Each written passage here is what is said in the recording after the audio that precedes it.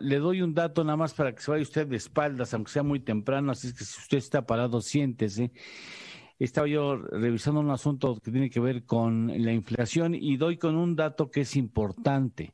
¿Sabe usted, sabe usted cuánto invirtió o gastó, según como usted lo quiera ver, cuánto invirtió o gastó México en la importación de gasolinas o combustibles entre 2015 y 2020, es decir, prácticamente seis años, México tuvo que invertir o gastar, al menos tuvo que pagar, dejémoslo así en términos de pagar, tuvo que pagar nada menos que 121 mil 984 millones de dólares Sí, se lo repito, 121.984 millones de dólares pagados en seis años del 2015 al 2020 por la importación de gasolinas.